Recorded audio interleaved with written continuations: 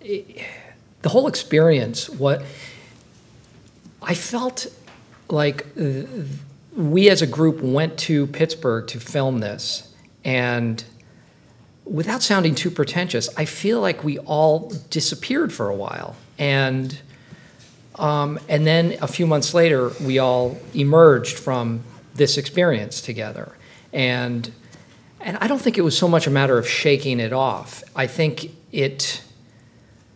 I still talk to Channing and Mark about the experience, and it's very present within all of us. I think we all felt there was a great responsibility to the people involved um, and to Bennett, um, just to the story and to the world. So I don't think that that has left any of us. Um, maybe it's not something that I think about every hour, but it's it's very present um, because I, I feel like we it, was immersive and, and we, we, we all took it very seriously. I just think of myself as an actor and uh, not necessarily a comedic actor. Th- those are the parts that I have been hired to do more often than not.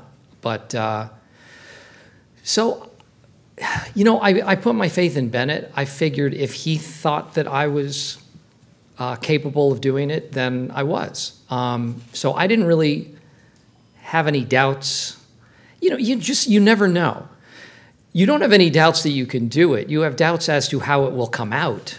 Um, you don't necessarily know if you'll do it well, but uh, but but you hope that you can, and uh, and and I committed to it, and um, but it wasn't again. It wasn't any sort of a master plan that this would be the next thing.